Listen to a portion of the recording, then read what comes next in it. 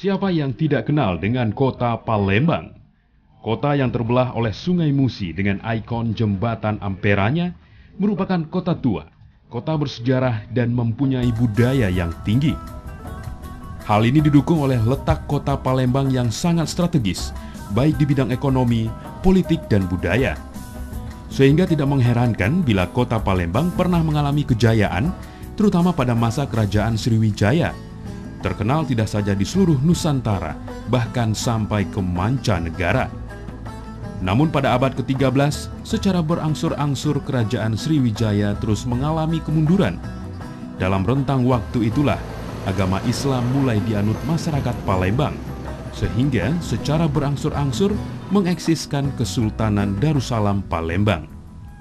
Yang penting sekarang ini, ya, apa yang telah ditata oleh raja-raja dulu, oleh kerajaan ya terakhir Kesultanan Palembang, itu adalah hukum-hukum yang ada di daerah pedalaman. Kesultanan Palembang yang terakhir memperkokoh hubungan ini dari aturan-aturan dari kerajaan Palembang itu dulu yang berupa piagam-piagam dikokohkan menjadi aturan daerah pedalaman yang mereka namakan pada waktu itu adalah Undang-Undang Simbol Cahaya. Eksisnya agama Islam dengan kerajaan Palembang Darussalamnya telah meninggalkan tinggalan sejarah berupa makam-makam Raja Islam. Tinggalan nyata dari masa ini ialah makam-makam dari para raja dan keluarganya, makam para bangsawan dan para ulama, makam para menteri dan pejabat kerajaan, serta makam tokoh-tokoh Islam lainnya makam-makam itu sebenarnya sampai ke daerah makam-makam itu. Ada. Daerah itu kalau di Palembang ini kita terkenal makam kerajaan itu di tiga ilir namanya kawah terungkup ya. Kalau terungkup itu sana itu. Cuma sana itu sudah berjejer ya. Bagaimana status mereka siapa yang keluarga kerajaan ada sultanan dulu gimana itu sudah jelas sana kan jadi semua makam-makam dulu kelihatannya berada di tanah-tanah tinggi semua. Kalau kan tinggi kan, ya di apa itu di di di, di, di cerita itu tinggi sekali tanahnya, ya dan sampai ke ini Sultan Mansur ini dan sebagainya sebagainya. Jadi dulu walaupun Rembang itu adalah ada apa itu silsilahnya tuh yang ini misalnya dia punya anak empat, ini semuanya keturunan raja, nanti siapa yang akan jadi putra mahkota, ini semua pendamping semua kan. Nah ini sendiri nanti kalau ada kuburan membawa anu, kelompok-kelompoknya sendiri itu. Nah itu kira-kira.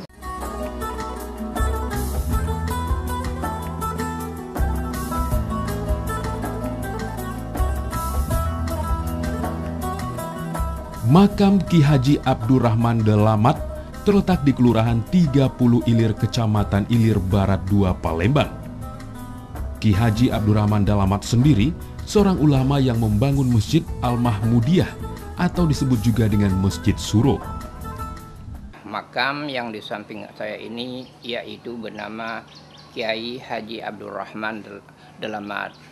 Menurut cerita dari cucunya almarhum, dia paling banyak membangun masjid sebanyak 27 masjid, baik yang sudah maupun belum selesai. Karena dia banyak mengajarkan agama, ada yang iri hati, maka dia terusir dari kota Palembang disuruh ini dari Masjid Al-Mahmudiyah ke daerah yaitu Babat Toman. Sampai beliau meninggal di Babat Toman. Wa'ad dia apabila dia meninggal dunia minta dikebumikan di belakang Masjid Al-Mahmudiyah. Lantas dikebumikanlah di situ.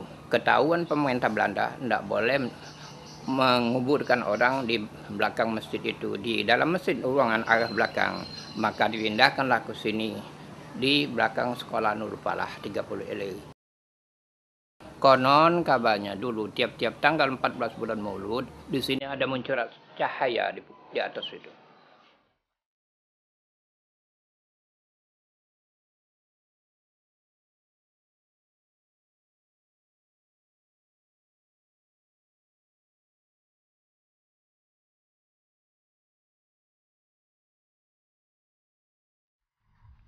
Masjid Al-Mahmudiyah dibangun oleh almarhum Ki Haji Abdurrahman Dalaman pada tahun 1310 Hijriah. Tiang penjaga masjid ini terbuat dari kayu bulat tinggi dan lebar yang sampai saat ini masih tetap kokoh. Masjid yang dibangun dengan gotong royong karena tidak ada biaya. Masjid Al-Mahmudiyah atau Masjid Suro ini dibangun tahun 1310 Hijriah itu oleh Ki Haji Abdurrahman Delamat ya, di atas tanah wakaf Ki Agus Haji Hotip Mahmud. Jadi umur masjid ini sudah lebih kurang 122 tahun. Nah, Kiai Abdurrahman Delamat ini punya karomah. Jadi menurut sejarahnya beliau tuh kalau duduk di masjid ini nanti di bawah sejadahnya itu ada duit. Nah itu. Konon menurut cerita, setiap Ki Haji Abdurrahman Dalamat sholat tahajud dan berdoa meminta rezeki dan pada kenyataannya setelah selesai berdoa telah ada uang di bawah sajadah. Uang tersebut dipergunakan oleh beliau untuk pembangunan masjid ini. Karena ini masjid tua, ini sudah berapa kali kita lakukan perbaikan, rehab, renovasi. Namun ini tidak merubah aslinya. Nah, seperti mimbar ini, ini kita sudah renovasi, tapi tidak dirubah. Cuma nuansanya aja kita buat nuansa Palembang, Sumatera Selatan ukiran. Termasuk juga ini lubang angin ini, ini juga baru kita apa itu renovasi. Dan di sini peninggalan sejarah daripada Kiai Abdurrahman Delamat itu dengan masjid ini adalah antara lain tiang empat ini, ini tiang penyangga ini. Nah ini termasuk peninggalan bersejarah. Tiang ini jumlahnya 16. Nah tiang ini kalau menurut sejarahnya dulu pada waktu bangun masjid ini ada yang tidak sampai katanya ke atas itu. Sehingga yang bekerja pada waktu itu ya ngomong dengan kiai itu, kiai katanya tidak sampai ini. Ya karena kiai itu punya karoma, punya kelebihan yang luar biasa disuruh angkat diiringi dengan tongkat sejarahnya itu. Akhirnya sampai ke atas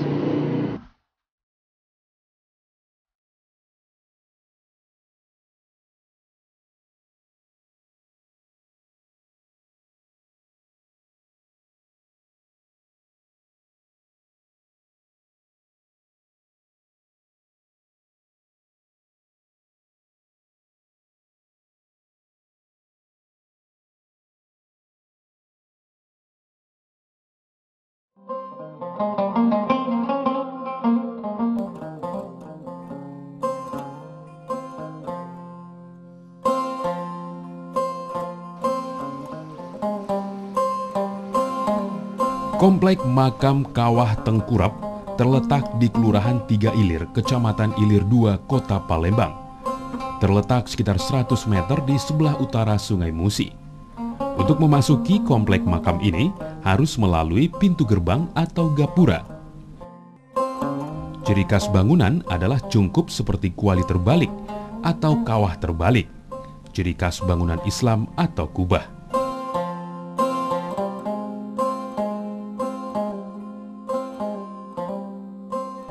Di dalamnya bermakam Sultan Mahmud Badarudin I, Ratu Sepuh atau istri pertama dari Jawa Tengah, Ratu Gading istri kedua dari Kelantan, Mas Ayu Ratu istri ketiga dari Cina, dan Nyai Mas Maimah istri keempat dari Palembang, dan Imam Said Idrus Al-Idrus dari Yaman Selatan.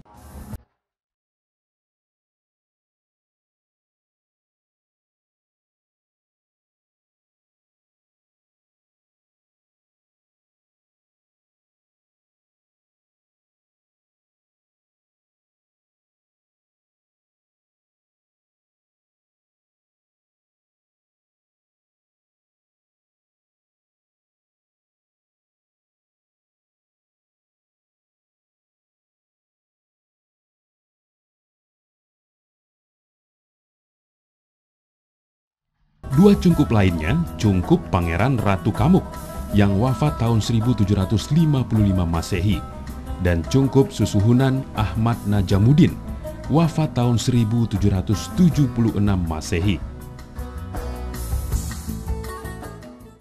Ini keturunan langsung atau dari Sultan Mahmud Badaruddin Joyowikromo yaitu namanya Sultan Ahmad Najamuddin. Sebelah kanan itu istrinya Mas Ayu Dalem, Sebelah kiri Imam Sayyid Abdurrahman Maula Togoa.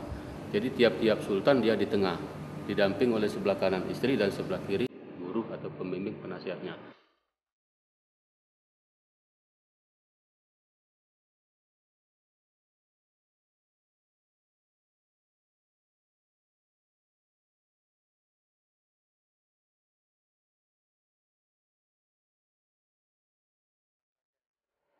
bangunan ketiga ini cucu dari Sultan Muhammad Badarudin Joyo Wikromo.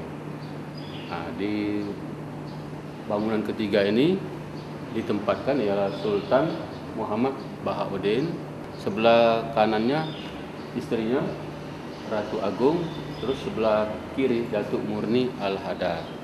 Sultan Muhammad Bahauddin ini juga ini orang tua dari Sultan Mahmud Badarudin yang kedua itu yang dibuang di Ternate.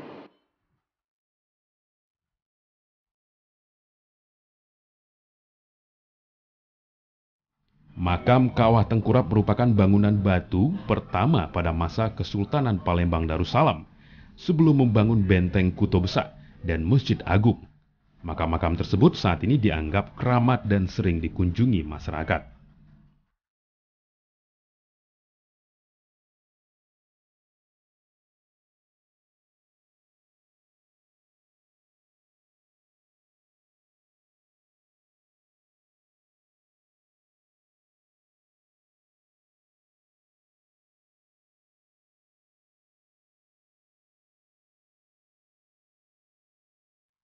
Makam Sultan Agung terletak 45 meter dari Sungai Musi di Desa Ilir, Kecamatan Ilir Timur 2, Palembang.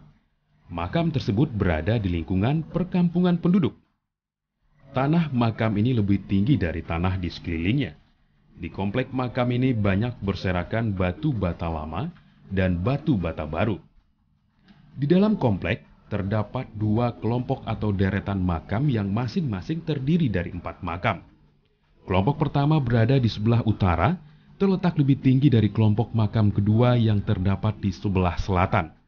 Menurut cerita penduduk, tokoh yang dimakamkan di kelompok makam pertama adalah Sultan Agung, yang diapin oleh dua makam tokoh lain yang tidak diketahui namanya.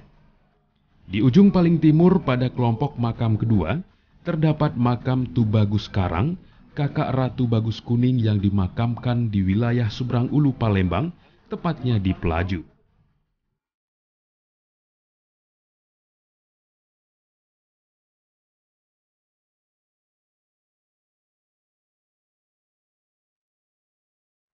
Situs Gede Ing Suro dibangun pada pertengahan abad ke-16. Pada situs ini terdapat delapan bangunan yang berisi 38 buah makam. Di antaranya makam Ki Gede Ing Suro. Situs ini terletak di atas masing-masing batu berbentuk empat persegi. Hampir seluruh batu terbuat dari batu bata. Dari catatan sejarah diperoleh gambaran bahwa situs Ki Gede Ing Suro dulu dikaitkan dengan Istana Raja Palembang Aryo Damar. Bisa dihubungkan dengan Keraton Kuto Gawang yang habis terbakar pada masa perang dengan VOC. Ciri khas situs dapat dilihat dari sepasang pipi tangga yang berbentuk ukel atau hiasan makara candi Hindu-Buddha. Pada dinding batu terdapat panil-panil berdenah bujur sangkar dengan hiasan pola hiasan berbentuk pancang sebanyak 18 buah. Juga terdapat lukisan sulur daun dan bunga matahari. Situs Ki Gede Ingsuro diperkirakan pula sebagai situs awal berdirinya kerajaan Palembang.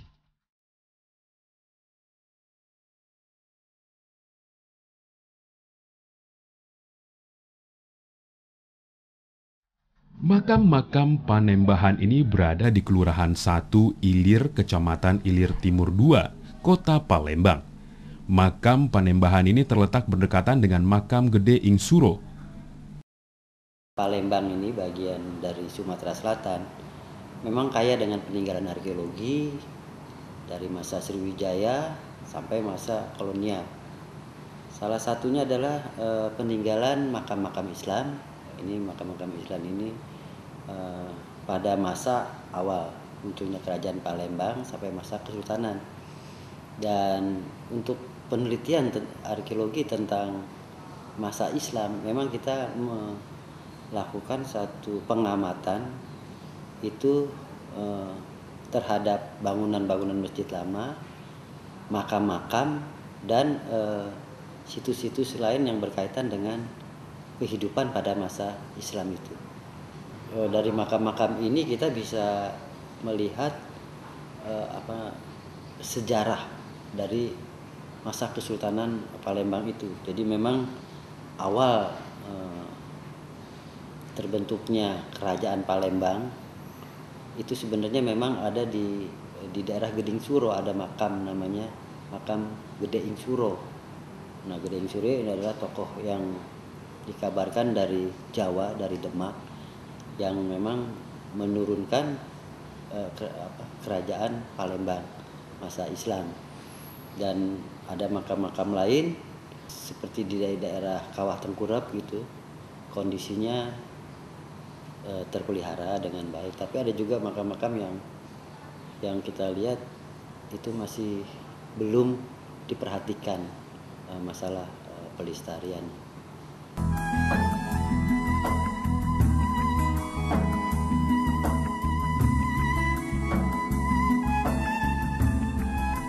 Di komplek makam Sobo Kingking dimakamkan Pangeran Sido Ingkenayan dan istri Ratu Sinuhan cucu Ki Gede Ing Suro, serta gurunya Habib Muhammad Nuh Iman Al-Fasah dari Baghdad. Ratu Sinuhun adalah pembuat undang-undang Simbur Cahaya berupa hukum adat yang tertulis dan berlaku di wilayah Sumatera Selatan. Dahulu komplek makam ini terdapat